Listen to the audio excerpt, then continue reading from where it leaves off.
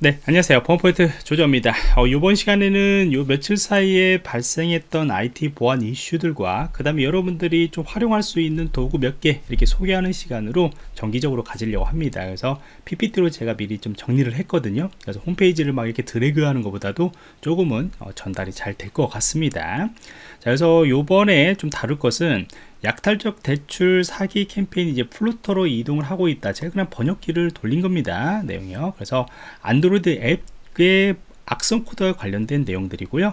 여러분들이 안드로이드 어플리케이션을 개발을 할 때 일반적으로 이전에는 이제 자바 환경의 그런 프로그램으로 이제 앱을 개발을 했죠.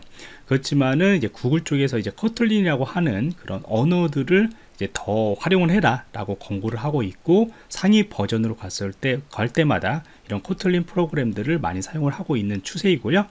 그 다음에 이제 뭐 Flutter 같은 경우에 요즘은 Flutter가 좀 많이 또 사용을 합니다. 저희 보안 프로젝트에서도 강의가 별도 별도로 이제 Flutter 앱이 있긴 있는데 어, 이걸로 사용하게 되면은 웹 앱 기반의 그러한 모바일 어플리케이션들을 제작하는데 상당히 수월하더라고요 그 다음에 제가 이제 아이들한테 코딩을 가르칠 때 App Inventor라고 하는 또 것도 있어요.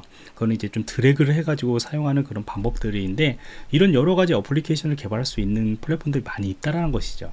근데 이제 악성 코드들이 당연히 이제 새로 나온 그런 플랫폼들을 많이 사용을 해서 탐지를 우회를 하게 되는 거죠.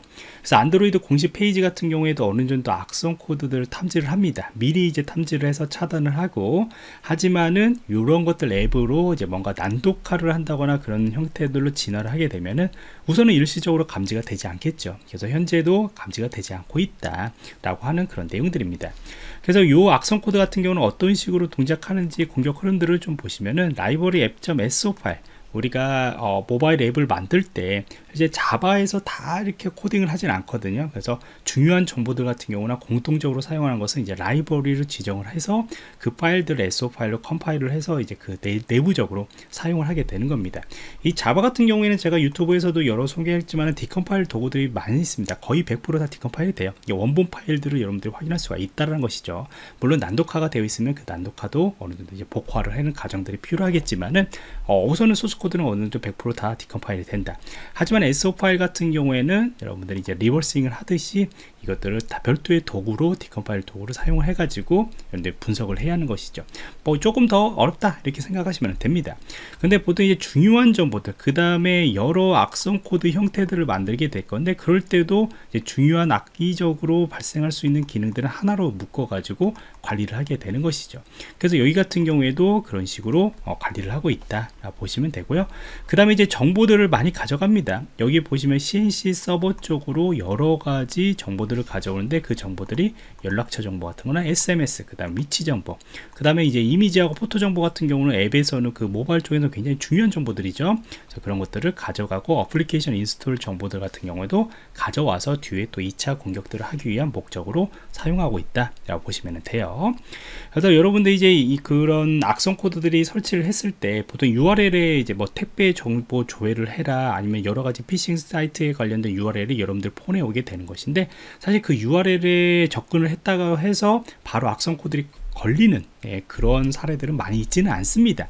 저한테도 질문을 많이 하시는데 물론 이제 특정 어플리케이션의 그러한 단말들 어떤 취약점이 존재하는 그런 버전들을 사용하면은 뭐 물론 이제 자동으로 설치되는 경우들도 있어요. 근데 거의 다 대부분 사용자들이 APK 파일들을 설치를 하고 난 뒤에 어떤 권한들을 물어보게 되는 겁니다.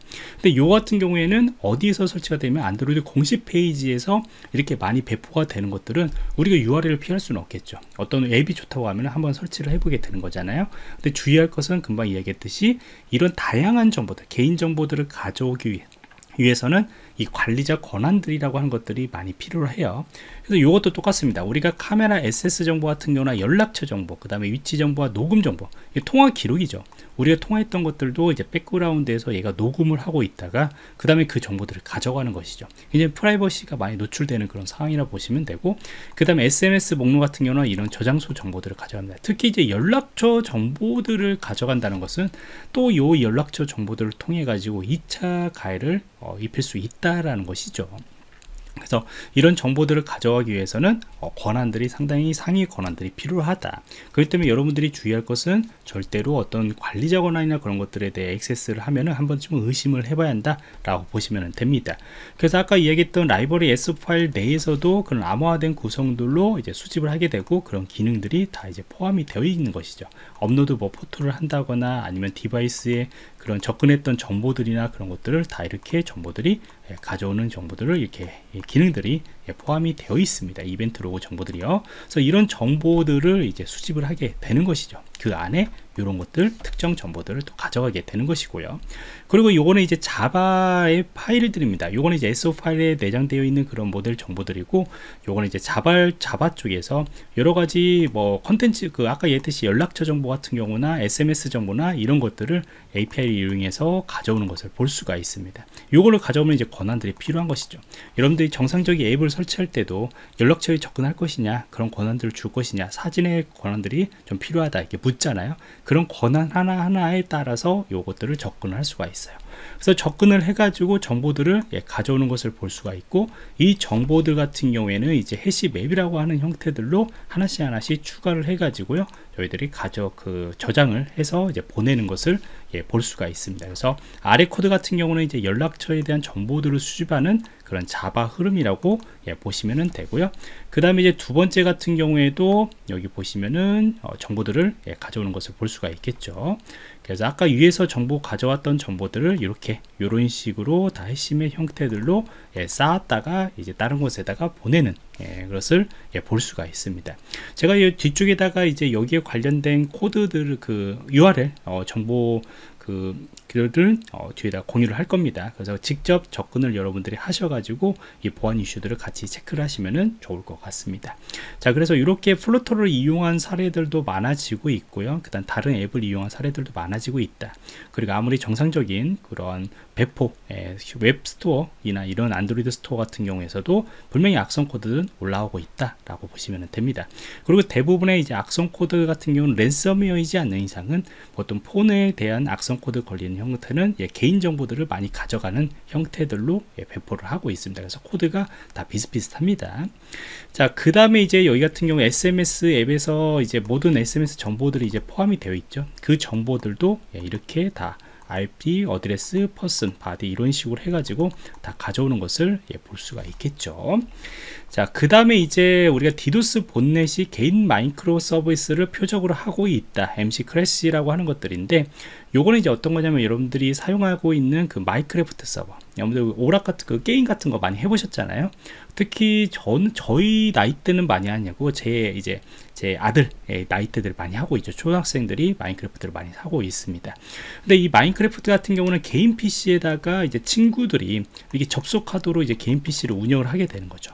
근데 위험한 것은 뭐냐면 이것도 하나의 서버이기 때문에 그 포트들이 열려 있어요 그래서 이 디도스 botnet 같은 경우도 왜 얘를 대상으로 했는지 모르겠는데 야, 이 마인크래프트 서버 같은 경우에도 OSINT에서 확인을 해보면은 약 한 20만 개 대 정도? 20만 대 정도입니다. 그래서 요 정도가 노출했고 한 20만 대에서 많게는 예전에 한 50만 대까지 노출되는 경우도 있어요. 그쪽 대상으로 이제 디도스 공격들을 하게 되는 것이죠. 근데 개인 PC이기 때문에 솔직히 이 목적들은 모르겠습니다. 왜 그런지 모르겠는데 아무튼 마인크래프트에 뭔가 원한이 있는 것 같아요. 자 그래서 요 같은 경우에는 이제 초점은 어떤 거냐면은 윈도우즈 장치에다가 이제 어떤 악성 코드들을 다운로드 받게 한 다음에 그것들을 이제 시작을 하게 됩니다. 그 다음에 그 안에 이것들이 이제 설치가 되면서 그 안에 이제 여러 가지들을 어, 수집을 하게 돼요. 그 수집한다는 것은 리눅스 기반의 어떤 SSH 같은 경우나 아니면은 후에는 요거의 정보들을 이제 마인크래프트 서버에 사용하기 위한 목적의 어떤 추가적인 어, 서버들을 어, 공략하기 위한 목 적의 그런 기능들이 예, 포함이 되어 있습니다. 그래서 초, 기에는 이런 식으로 이제 배포가 됩니다. 이런 것들이 이제 악성 코드인 거고 이걸 설치하게 되면은 이제 점점 이제 그 기능들이 하나씩 하나씩 실행하게 되는 것이죠. 자, 그러면은 이제 어떻게 되냐? 예, 흐름들을 보시면은 어떤 악성 코드 아까 이야기했던 그것들을 다운로드 받고 그 다음에 이제 설치하게 되면은 이러한 프로세스가 이제 동작을 합니다. DC 로더라고 하는 exe 파일들이 설치하게 되고요.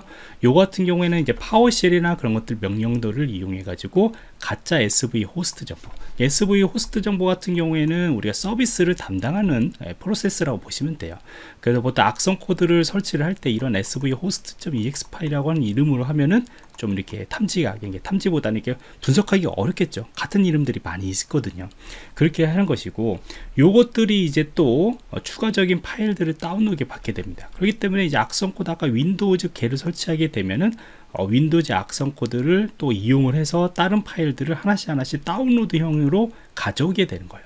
거의 대부분 이런 형태로 많이 하게 돼요. 왜 그러냐면은 요것들을 포함을 할 수는 있어요. 분명히 기능들을 하나의 프로그램에다 포함을 할 수 있는데 그렇게 포함을 하게 되면은 어떤 백신이나 그런 데 탐지할 가능성이 높다라는 것이고 용량이 좀 더 커질 수밖에 없는 것이죠. 그래서 정상적인 어떠한 프로그램인 것처럼에다가 이제 이런 기능들 다운로드 되는 형태들만 좀 추가를 해서 배포를 하게 되는 것이고 여기 보면 이제 파이썬과 관련된 이러한 악성 코드들을 이제 요즘은 좀 많이 사용하고 있습니다.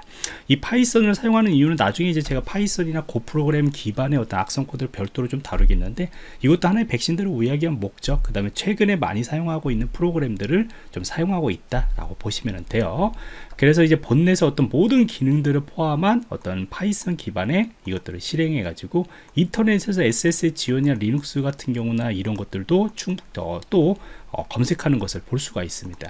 이것들을 검색하는 이유는 뭐냐면은 이제 또 추가적으로 마인크래프트라고 하는 예, 그러한 것을 이제 어, 이렇게 공략하기 위해서 여러 서버들을 좀 이렇게 어, 이렇게 획득을 하게 되는 것이죠. 그러니까 보통 이제 SSH 같은 경우들을 지원하는 리눅스 기반이라고 써 있는데 요건 보통 이제 IoT 기반 IoT 기기 장치 같은 경우는 이제 SSH 같은 경우나 텔넷들을 좀 많이 사용을 해요. 근데 그게 기본 패스워드 같은 경우나 이렇게 아니면은 어, 어떤 설정 없이 그냥 이렇게 쑥 예, 침투가 되는 그런 사례가 있기 때문에 이것을 공략하는 것을 예, 볼 수가 있습니다. 그래서 이런 악성 코드들이 악성 코드들이 감염이 되면은 이렇게 이제 봇넷들이 주로 이제 디도스하고 명령하고 유사한 그런 고유한 마인크래프트 명령어들을 사용해 가지고요 개인 마인크래프트 서버에 대해서 디도스 공격들을 사용을 한다라고 이렇게 나오고 있습니다. 그래서 저도 처음 봤는데 뭐 이러한 패킷들이 보통 이제 디, 마인크래프트에서 명령하는 그런 패킷이라고 이야기를 하고 있네요. 그리고 마인크래프트 버전 같은 경우에는 뭐 여러 사람들이 사용하고 있기 때문에 다 다양해요.